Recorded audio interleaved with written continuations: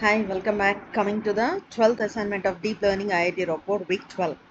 See, this is the last assignment, and uh, you have to write the exam in the last week of this month. So, uh, prepare with the assignment questions, prepare with the material also. Coming to the 12th assignment, here the first question is we are performing the task of image question answering using the encoder decoder model. So, choose the equations representing a decoder, uh, decoder model for this task. So the options are 2 and 3. If we make the vocabulary for the encoder decoder model using the given sentence, what will be the size of our vocabulary? Here the size of the vocabulary is 11 because it is having uh, uh, 10 words and a full stop also counted. That's why it is 11. We are performing a task where we generate a summary for an image using encoder decoder model. LSTM is used as a decoder, CNN is used as encoder. Which of the following is not a component of attention mechanism decoder? Select all the applications of the encoder decoder model.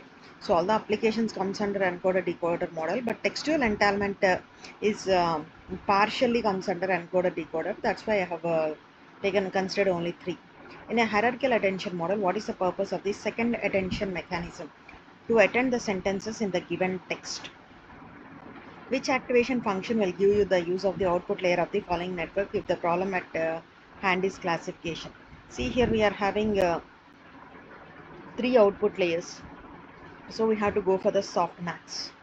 And what is the primary function of the encoder decoder, uh, decoder model in the deep learning? To transform input data into the compact representation. Choose the correct statement which represent the attention mechanism in the encoder decoder model. Only important features get high weights in the attention mechanism. And uh, what is the purpose of the softmax function in the attention mechanism? To normalize the attention weights. So this is recording the assignments. All the best, prepare well and write the exam well. Thank you.